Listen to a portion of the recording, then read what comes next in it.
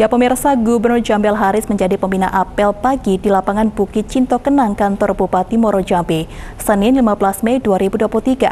Apel ini juga dihadiri penjabat Bupati Moro Jambi Bahyuni Deliansyah, Sekretaris Daerah Budi Hartono, serta para pejabat lingkup Kabupaten Moro Jambi.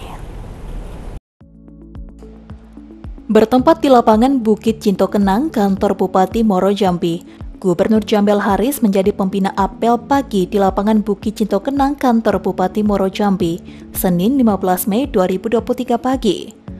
Apel pagi ini juga dihadiri penjabat Bupati Moro Jambi Pak Yuni Deliansyah, Sekretaris Daerah Moro Jambi Budi Hartono, serta para pejabat di lingkup Kabupaten Moro Jambi. Dalam amanatnya, Gubernur Al-Haris menyampaikan bahwa dirinya sangat bersyukur karena bisa hadir menemui ASN di Moro Jambi. Dirinya juga ingin menyempatkan waktu mengunjungi satu kabupaten ke kabupaten lainnya selama menjabat. Dirinya sangat berterima kasih kepada semua yang hadir karena sudah menegakkan kedisiplinan dalam rangka pengabdian kepada bangsa dan negara.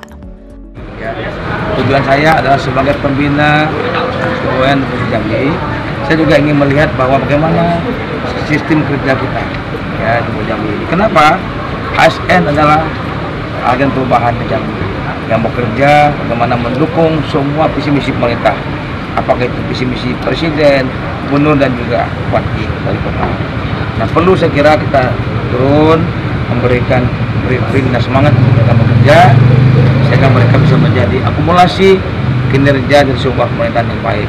Yang kedua, dan juga maka halal bihalal datang ke pemerintahan pada hari ini atau saya dengan, dengan ASN Jambi ini agar ada hubungan kerja yang baik. Gubernur Jambil Haris mengimbau kepada para kepala OPD untuk terus melakukan pengawasan melekat kepada semua stafnya, mulai dari tingkat atas sampai tingkat bawah, mulai dari masalah kehadiran, disiplin, dan kinerja. Novia Putri Sanjaya, Cek TV, melaporkan.